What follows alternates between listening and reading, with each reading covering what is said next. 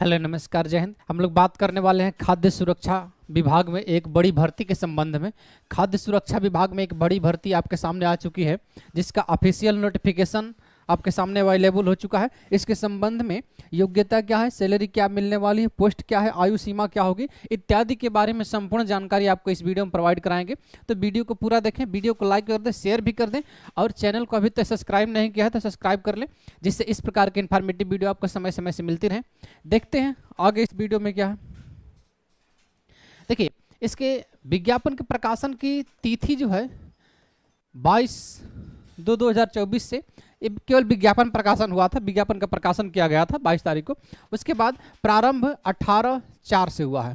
18 अप्रैल से 18 अप्रैल से इसका प्रारंभ हो चुका है आवेदन करने की तिथि। 18 अप्रैल से प्रारंभ हो चुकी है, जो 18 मई तक अंतिम तिथि होगी।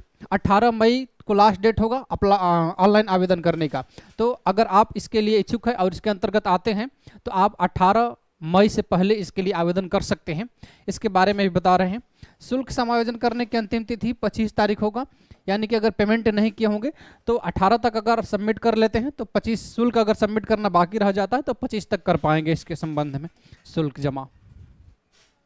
आवेदन शुल्क, क्योंकि यूपी ट्रिपल एससी से है तो इसलिए यूपी ट्रिपल एस केवल पच्चीस रुपये का ही शुल्क लेता है। बाद में मेंस के लिए शर्ट लिस्ट होने के बाद जमा कराता है तो सबसे केवल पच्चीस रुपये की ही शुल्क ली जाएगी। अगर आयु सीमा की बात करें, एज लिमिट की अगर हम बात करें तो 21 वर्ष से लेकर 40 वर्ष तक आपकी एज होनी चाहिए। यानी कि न्यूनतम एज 21 वर्ष और अधिकतम एज 40 वर्ष होनी चाहिए। कैटेगरी वाइज छूट मिलेगी। एस सी के लिए पाँच वर्ष, ओबीसी के लिए तीन वर्ष, जिस प्रकार से अपर एज में छूट मिलती है, उस प्रकार से अपर एज में छूट मिलेगी। कुल विज्ञापित पदों की संख्या के संबंध में अगर बात करें तो खाद्य सुरक्षा एवं औषधि प्रशासन में कनिष्ठ विश्लेषक औषधि के लिए ग्रेड पे वेतन बैंड टू हज़ार नौ नौ हज़ार तीन सौ से चौंतीस हज़ार आठ सौ, बयालीस सौ ग्रेड पे की वैकेंसी है। लेवल सिक्स की। लेवल सिक्स अर्थात बयालीस सौ ग्रेड पे की वैकेंसी है, जो अनारक्षित के लिए एक सौ छियालीस पोस्ट है, अनुसूचित जाति के लिए पाँच पचहत्तर, अनुसूचित जनजाति के लिए सात ओबीसी के लिए संतानवे और ईडब्ल्यूएस के लिए छत्तीस, यानी कि कुल मिलाकर तीन सौ इकसठ पोस्ट के लिए वैकेंसी है। तीन सौ इकसठ यानी कि three sixty one total post है। अगर क्षैतिज आरक्षण की बात करें तो क्षैतिज आरक्षण में स्वतंत्रता संग्राम सेनानी के लिए सात सीटें, दिव्यांगजन के लिए पाँच पाँच और चार, इस प्रकार की पाँच पाँच, दस और चार, चौदह सीटें एल वी एच एच और डी डब्ल्यू के लिए अलग अलग प्रकार के आरक्षित है। उसके बाद भूतपूर्व सैनिक के लिए अट्ठारह सीटें, महिला के लिए बहत्तर सीटें और उत्कृष्ट खिलाड़ियों के लिए सात सीटें आरक्षित हैं, क्षैतिज रूप से आरक्षित हैं। क्षैतिज रूप से आरक्षण का मतलब है कि ये सीटें इतनी उनको स्पेशल रूप से दे दी जाती है, क्षैतिज आरक्षण का यह मतलब होता है। लिखित परीक्षा के लिए समायोजन की बात करें तो विज्ञापन संख्या पाँच परीक्षा 2024 है। इसका विज्ञापन संख्या है पाँच परीक्षा 2024 इस विज्ञापन संख्या के संदर्भ में लिखित परीक्षा के लिए क्या होगा? इसके बाद शॉर्टलिस्ट होने के बाद लिखित परीक्षा अलग से जारी कर दी जाएगी। कि इसका सिलेबस क्या होगा? सिलेबस अलग से जारी किया जाएगा।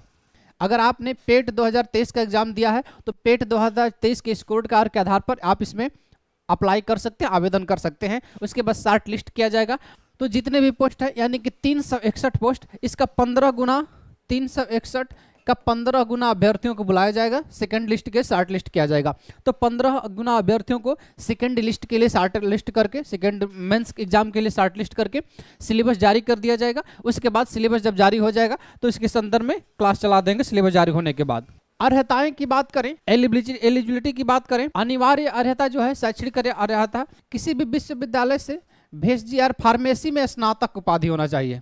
ग्रेजुएट होना चाहिए फार्मेसी में ग्रेजुएट होना चाहिए इसके लिए। अगर फार्मेसी में ग्रेजुएट आप हैं तो इसके लिए आवेदन कर सकते हैं। हमने अभी बताया, पेट 2023 पर आधारित होगा। जो लोग पेट 2023 का एग्ज़ाम दिए हैं, अर्थात पेट 2023 में जो सम्मिलित हुए हैं, सिर्फ़ वहीं इसके लिए आवेदन कर सकते हैं। जो नहीं दिए हैं, अर्थात सम्मिलित नहीं हुए, वो लोग इसके लिए आवेदन नहीं कर सकते हैं। वीडियो को लाइक कर दीजिएगा शेयर भी कर दीजिएगा, और चैनल को अभी तक सब्सक्राइब नहीं किया तो सब्सक्राइब कर लीजिएगा, जिससे इस प्रकार के इन्फॉर्मेटिव वीडियो आपको समय से मिल जाए। इसमें किसी प्रकार की आपको कंफ्यूजन हो तो कमेंट में कमेंट कर दीजिएगा, उसका जवाब अवश्य हम आपको देंगे। द्रोण जिया सिरसा सेंटर के साथ बने रहने के लिए आप सभी का दिल से बहुत बहुत धन्यवाद।